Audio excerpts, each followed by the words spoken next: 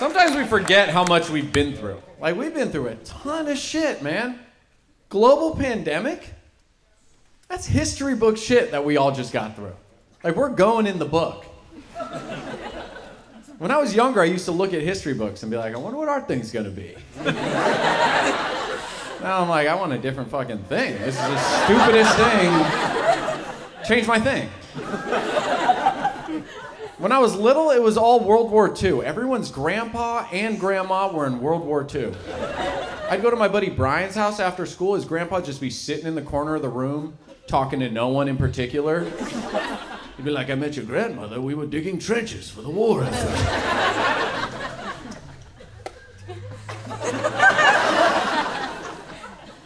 we were eight years old. She was the love of my life. My little Nazi hunter. I'm like, yo, Brian, dude, what's up with him? What's what is that? And he's like, oh, Pop Pop, he's just napping. I'm like, napping? Dude, I'm pretty sure Pop Pop was an assassin at some point. It's not a regular nap. That nap has seen a lot of death and zero therapy. World War II made everyone badass. They had to be. Our thing? Very few badasses. I already feel terrible for my future grandkids. They're gonna come up to me someday like, Papa, what was the great pandemic like? And I don't have to look them in the eye and be like, oh, it was terrible. All the restaurants were closed.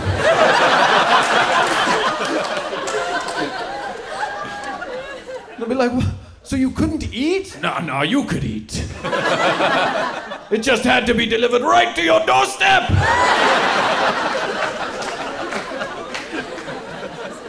Dark days.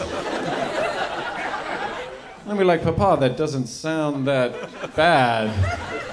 Like, doesn't sound that bad. I was trapped in there with your grandmother the whole fucking time. Love of my life. You guys want to see this impression I've been working on? All right, cool, cool. This is my impression of a guy in the mafia, like New York, New Jersey, Italian mafia, uh, and he just did a ton of mushrooms, like way too many mushrooms, and he's about to trip balls. Okay, this is the moment. This is my impression of the moment the mushrooms kick in for this mobster, and he has the high of his life. Okay, here we go. Yeah, I want more wine. What am I, a fuck? Come on, what am I? a fuck? Oh, what, come on, what am I? a fuck? What am I? a f- What? Wow, what, what am I? What,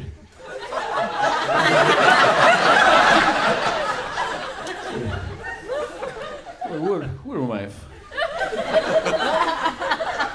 What am I? What am I? What, what?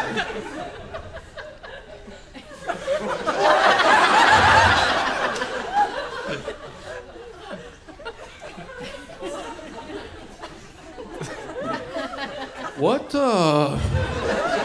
What am I? Thank you. That is Guy in the Mafia on Shrimp. Thank you so much. Thanks. We've all been there, right? In the Mafia?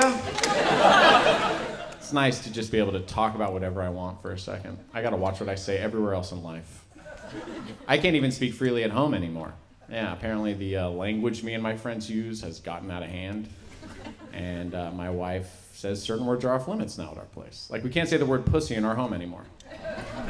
It's worn out its welcome. We can't say the word bitch either, uh, which is fair. I'm not firing that from the hip. when I get home, I'm not kicking in the door like, "Where's dinner, bitch?" You know, I know my role. I'm not that guy, but that's the rule now. I can't say pussy or bitch. Anyone who comes over now cannot say pussy or bitch in our home. Uh, the good news is when my dad comes over now, he's got to call me either Zack or son. Papa, dinner at my place. Yeah, my dad's a tough guy to get to know. My mom's very different. She's the best. I feel like I should talk about family since this is where the Fast and the Furious is made. You gotta talk about family here, right?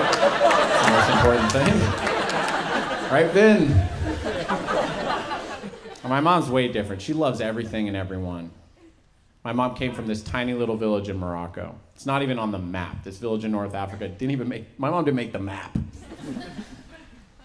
and she loves being American. It's her favorite thing. It's like her favorite thing about herself, you know. She loves America so much. And it's beautiful because she's not like an old white person, you know. old white people aren't allowed to love America that much anymore. if you're old and white and you love America as much as my mom, I'm like, chill the fuck out, dude. Where were you on January 6th, dog? What's going on? No one loves the Punisher that much, you know?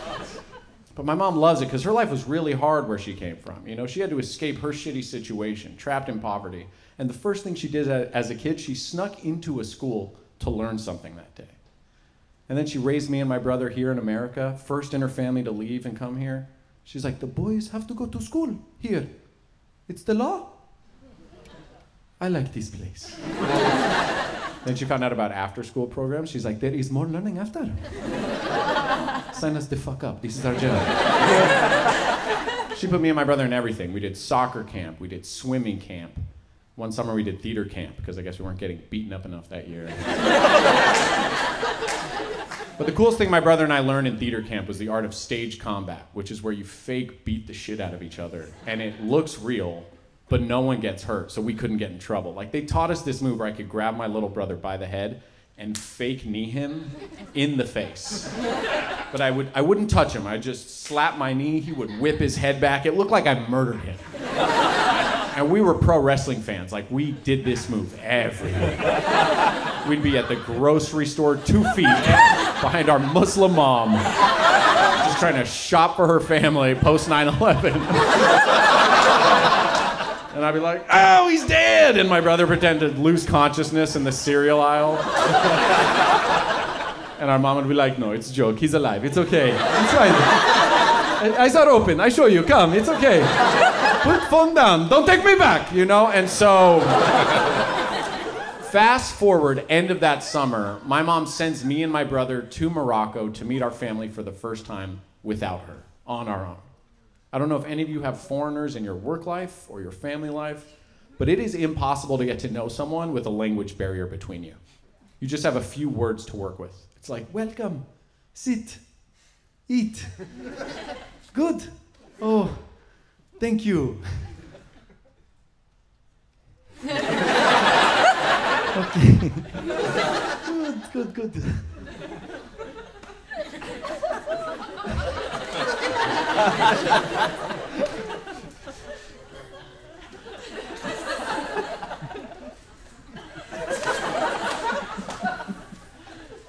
I love you. Like that's it. We're out of words. We say I love you. They know five words of English. We don't know any Arabic because we're American. We're like meet us halfway. Learn our language. That's just how we travel. I don't know why every country you go to, there's some American be like, motherfucker, bathroom. You don't know bathroom? And you're like, dude, you didn't think bathroom would come up on this trip? We're the worst. But I really tried to connect with my family using just the base words we had. My brother was all shy and quiet, but I'm like, I'm gonna build a bridge with this family. So I was working those base words. I'm like, Morocco is good. Thank you. I love Morocco. Thank you. Morocco. number one. You know number one. For me, number one, Morocco. Thank you. And my brother's like, dude, what is that racist accent you're doing? just do regular English, you know?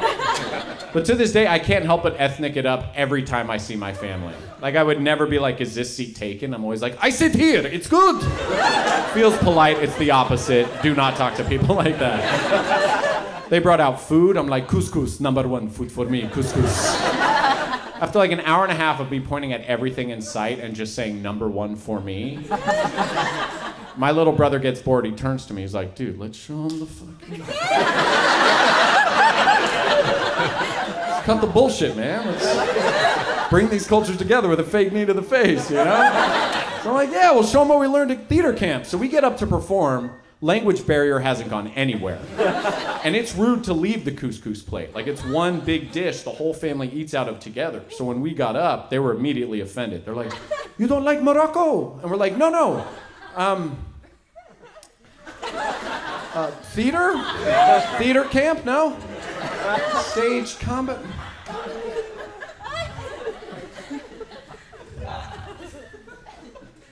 Theater? Theater camp? No? Okay, just trying stuff. Okay. Uh, welcome, welcome, good. Uh, me and brother, um, showtime.